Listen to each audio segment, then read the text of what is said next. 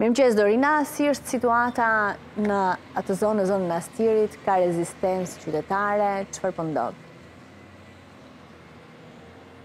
Mirëmëngjes Esmeralda, sapo ka nisur shembja e godinës së parë në lotin e tretë të projektit të Unazës së Madhe. Ajo çka duhet thënë është se ditën e sotme nuk kemi parë rezistencë të banorëve dhe ashtu si ishte njoftuar nga Inspektoriati Kombëtar i Mbrojtjes së Territorit, Banorët janë njoftuar për të liruar këto godina ku përfshihen pra banesa private apo edhe qoftë dhe biznese të shpronësuara. Siç mund ta shohim edhe nga pamjet, fadroma dhe punonjës të Inspektoriatit Kombëtar të Mbrojtjes së Territorit janë përreth kësaj zone për të vijuar kështu me shëmbjen e dhjetë objekteve, ashtu siç është njoftuar ditën e sotme në këtë lot Do të shëmben vetëm dhjetë objekte, pavarësisht se vetëm loti i tretë përfshin shtatëdhjetë e katër objekte të cilat duhet të prishen për t'i hapur kështu rrugë edhe ndërtimit të projektit të Unazës së Madhe. Ajo çka duhet thënë është se mbrëmjën e djeshme në fakt drejtori i policisë së Tiranës ka bërë me dije sa i përket situatës së trafikut. Mhm. Është sugjeruar në fakt për gjithë qytetarët, kryesisht ata qytetarë që vijnë nga Durrësi për të shmangur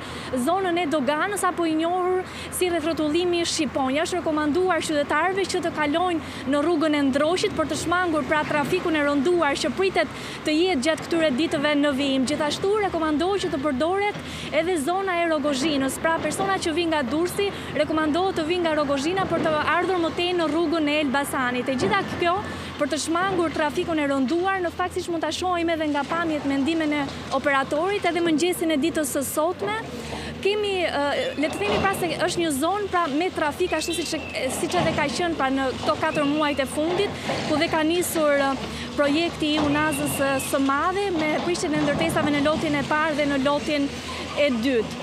Ajo çka është bërë me dije gjithashtu nga nga drejtori i policisë së Tiranës është theksuar se korsitë, korsia në rrethrrotullimin Shqiponja, një prej tyre do të përdoret për rastet emergjente, duke qenë se duhet thënë se së fundmi situata me COVID-19 po rëndohen dhe po vijnë raste të reja çdo ditë, ndërsa tre korsitë e tjera do të punohet Dhe do të do të jenë edhe policia rrugore ajo që do të rekomandojë dhe qytetarët për të për të marrë kështu edhe rrugë më më dytësore për t'u futur pra brenda në Tiranë paçka se është rekomanduar po rrugë të tjera alternative.